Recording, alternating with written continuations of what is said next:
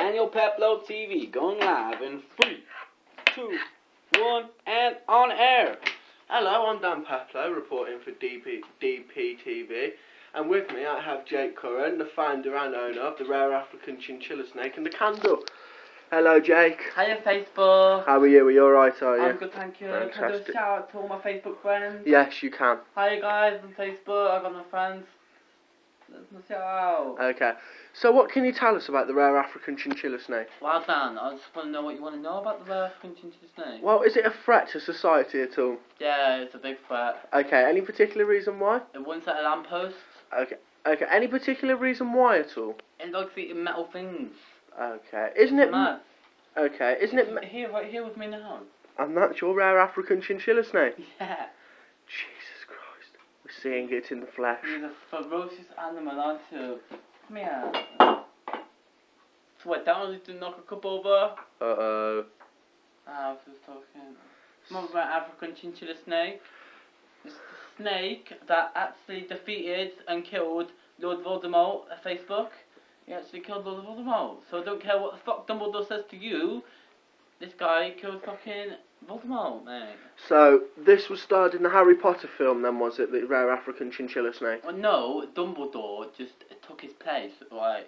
So, uh, my African chinchilla snake, his name's Has- Hmm, I was just about to say, has it got a name at all? yeah, his name's Rob.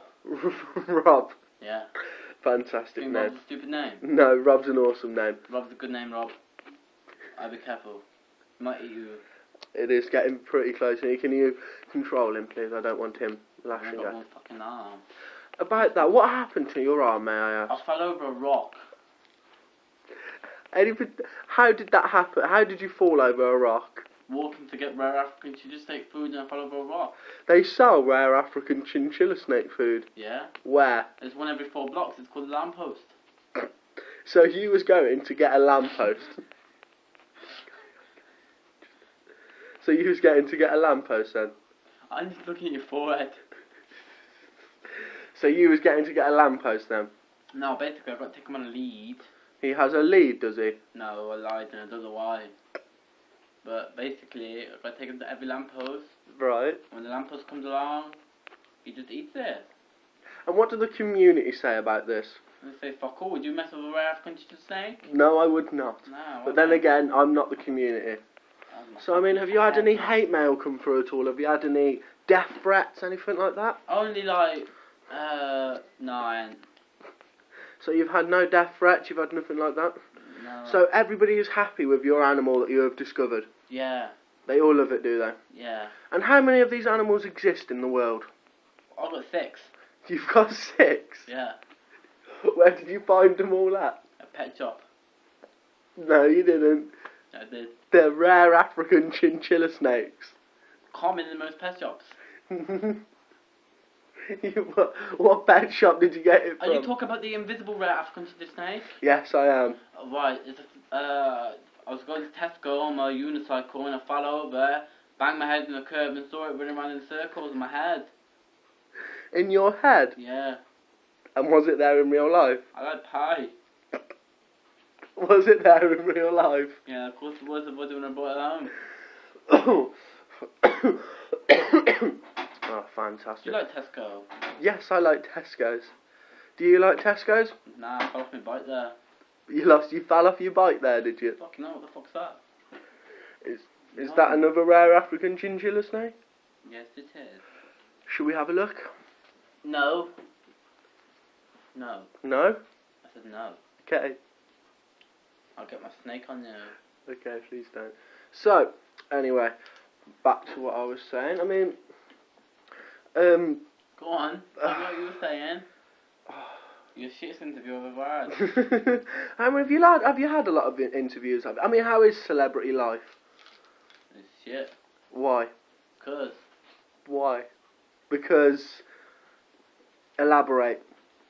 Because I'm not even a celebrity. You are a celebrity. No, I'm not. Why aren't you? I want to be famous. You are famous. I found a snake. I'm not Hollywood. But I got told that you're going to be doing a film with your rare African chinchilla snake, a spin-off from Harry Potter. No. No? Is that a lie? Is it? Yeah. Are you lying? No. Okay. So I have you bought out What a is book? Have you bought out a book anytime soon at all? Are you are you planning on bringing out a book? No, I'm not. No. So is there any Go away, African ginger snake.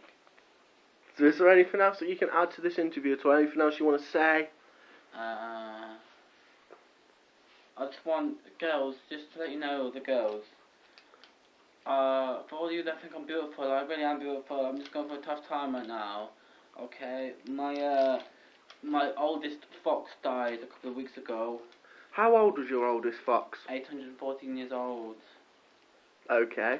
And what did it die of? Wow, you never believe this, but it got hit by a fucking boomerang. I swear to God, never believe it. Got hit by a fucking boomerang. Oh, Didn't it where African ginger snake? Rob. I did call him Rob earlier, didn't I? yes. Yeah, Rob. Okay. So is there anything else that you want to say at all? No. No. Is that the end of the interview then? It is. Okay. Well, I've been Dan Peplow reporting live for DPTV. Uh, have fun, America. Bye.